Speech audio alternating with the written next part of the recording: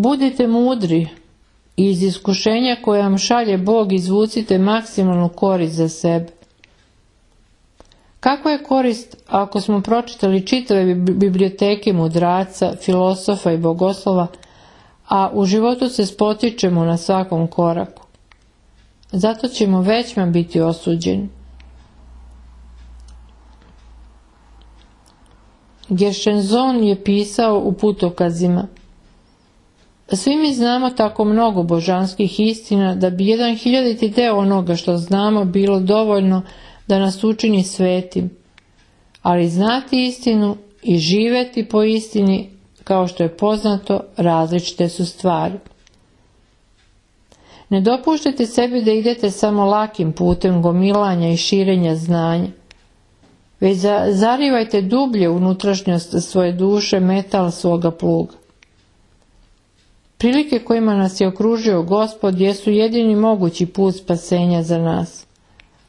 Ove prilike menjaju se istog časa pošto ih do kraja iskoristimo, pretvorivši gorčinu uvreda, poniženja, bolesti i napora u zlato strpljenja, negnevljivosti i krotosti.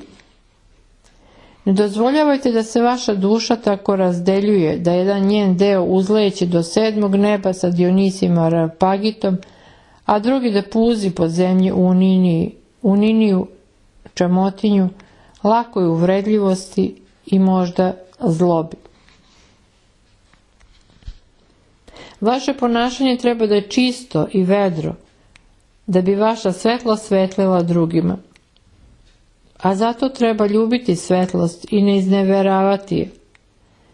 Verujte u svetlost da budete sinovi svetlosti, a praktično tražite u svetlost u sebi i u drugima, čuvati je i negovati u sebi i drugima svaku iskricu dobra i svetlosti, radovati se svetlosti, ne verovati u tamu i laž, zatvarati oči pred njima, jer su prividni i nadimaju se od pažnje usmerene na njih. Zašto je potrebna vera? Ni zašto.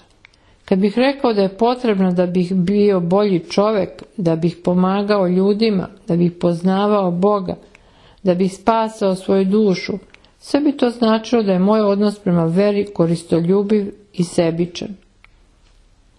Verujemo ne za nešto radi nečeg, nego zato što ljubimo Boga, zato što je Bog za nas u svom javljanju na zemlji kao Bogo čovjek Hristos, ukupno svega najsvetlijeg, najčistijeg, beskrajno lepog, ukratko svega najdražeg. Ljubav prema Bogu povlači za sobom veru u Boga.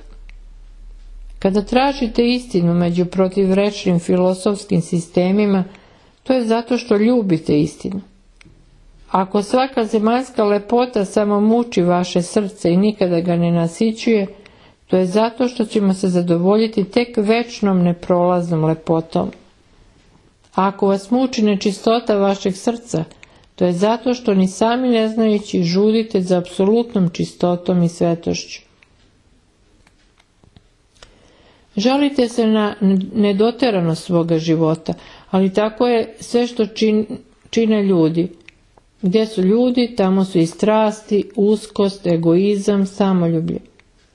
Utoliko pre potrebno je sve vreme ponašati se u izvesnom smislu temeljno, držati se dubine, ne gubiti iz vida opšte, konačne ciljeve, iskorenjivati u sebi sve nebitno i svakidašnje i tada će postati lakše da se sve to podnosi u ljudima. Pošalje nam, gospode, strpljenje, velikodušnosti i krotosti.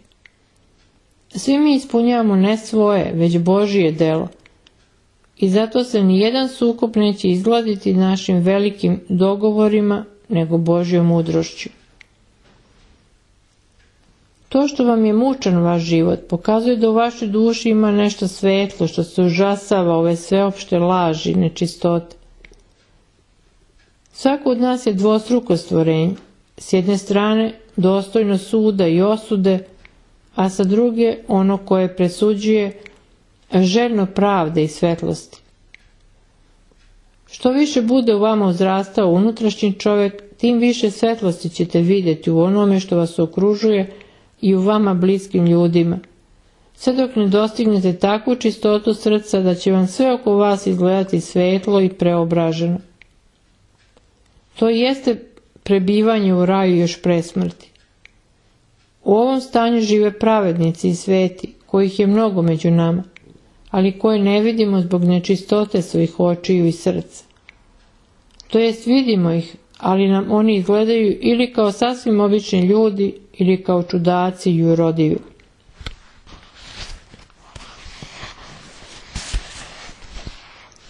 Opasnost od svojevoljnog upražnjavanja askeze Zbog naše krajnje materijalne čulne gustine i težine mi smo nedovoljno propustljivi za utjecaj duhovnog sveta. Tek sa istanjivanjem našeg tela do nas dopiru zvuci nebesa.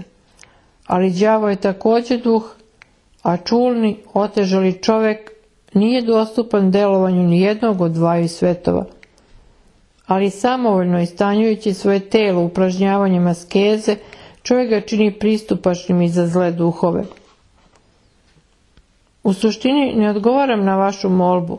Pišem povodom nje ono što sam više puta govorio i pisao svojim duhovnim čedima. Ja ne mogu da preuzimam na sebe rešavanje bilo čije sudbine i bilo čijih porodičnih pitanja i smatram to pogrešnim. Ne osjećam se pozvanim za ulogu starca i svjestan sam svoje duboke nedostojnosti za to. Uopšte, starčestvo i poslušanje su stvari suviše odgovorne i ozbiljne za obe strane, da bih mogao tako odjednom da ih se prihvatim. Razgovori o osjećanju ubijaju i samo osjećanje. Ako je srce hladno i molitva ne ide, obrati se evanđelju. Ako ne pomogne, otvori knjigu omiljenog svetog oca – Svako treba da ima takvog svetitelja prijatelja. Žalite se na to kako je teško, čak i prosto dosadno čitanje svetih otaca, ali pokušajte da postavite pitanje ovako. Nije li možda vaša duša još nespremna da ugleda svetlost koju drugi vide u svetim ocima, a da stvar nije u tome da su oni teški i dosadni? Ipak ne prekidajte to čitanje. Pokušajte da zagrejete svoju dušu u srdnošću njihove vere i da se upoznate sa njihovim duhovnim opitom. Kažete da je sasvim neoporediva njihova uzvišenost i sva skučena svakidašnjost koja nas drži u svom robstvu. Ali zagledajte se u sebe. Nije moguće da je to svakda bilo teško i dosadno. U redkim trenucima života, u iskušenjima i žalosti ili u velikoj radosti, Duša ište da uzleti i tada možda drugačije zvuče reči koje ranije nisu dopirale do nas. A u običajno vreme potreban je trud i izvjesno nasilje nad sobom da bismo se probudili iz svoje učmalosti. I budite uvereni da će ovi napori dati svoj plod. I za vas za sada nevidljivo sakupljanje duhovnih bogatstava pokazat će se u potrebnom trenutku i možda će vas izbaviti od sadašnje nevolje. Također pišete o svojoj usamljenosti i napuštenosti. Razume se, vama je potrebno živo opštenje sa ljudima i njihova blizina. Ali pomislite, već kod istih tih svetih otaca, kakvo izabrano društvo imate, kakve se riznice najboljih duša vekovima sakupljene daju vama i svima nama u potpuno vlasništvo. U tome i radost crkvenog opštenja, što svi mi živimo i svi smo braće u crkvi i ne može i ne treba da bude osjećanje napuštenosti ko živog člana crkve. Kako su u mnogo čemu jalova individualna nastojanja? Ištite prijateljstvo. Evo slučaja kada jedan plus jedan nije dva, već u najmanju ruku tri. To ste vas dvoje plus ono veliko međusobna ljubav, što će vas održati i ojačati. Obično živimo nekakvim najpovršnijim slojevima naše duše i svesti. To se vidi po tome kako se lako ljutimo zbog sitnica i koliko značaja pridajemo stvarima koje su sasvim beznačajne. Polovina naših žalosti i životnih teškoća nestale bi kad bismo težište naših interesovanja prenijeli na veću dubinu. Zato vam tako uporno i preporučujem čitanje Evanđelja baš svakog jutra, što će to tada dati u nekoliko drugačiji tom početku svakog dana i pomoći će vam da ga provedete dostojnije, pomoći će da sačuvate svoje srce mirnim, ma kakve životne bure da se dogode u prestojećem danu. Svako i najmanje delo započinjite molitvom. Prizivanje sile Božje na vaše delo i na vaznošenje toga dela u visinu. Tada kod vas neće i ne može biti rđevi dela. Naši razgovori i otvorena predavanja, slučajni predavači i slučajna publika nisu srodne duše, nego mehanički veštački produkt. Niko ovdje nije uložio svoje srce, nije ovo porodio u mukama i ne ljubi roditeljskom ljubavi. Obrnuto, neveliki kružoci sa stalnim sastavom slušalaca, sa rukovodiocem koji poznaje svakog, tu je nešto organsko što vodi i vaspitava. To se najviše odnosi na kružoke mladih, razume se. Evo nekoliko utisaka iz mog opštenja sa mladima.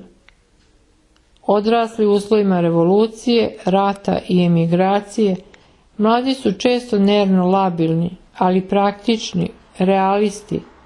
Imaju malo iskustvo dobra, često su nedovoljno kultivisani, ali posjeduju svojevrsnu čestitost i iskrenost i ne priznaju fraze i ideale bez dela. Osjetljivost za laž. I još jedno zapažanje. Svi mladići su snuždeni, sumorni i tromi. Kod svih devojaka lakoća, jednostavnost i nekakva blistavost. Njima sve lakše ide od ruke. U njihovom obraćanju u hrišćanstvu lakše se daje srdačnost tog obraćenja.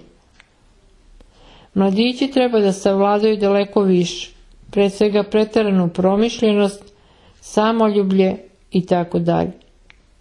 Zato u budućem crkvenom preporodu ženi prestoji po svoj prilici velika uloga. Sa ruskog preveo Miroslav Golubović.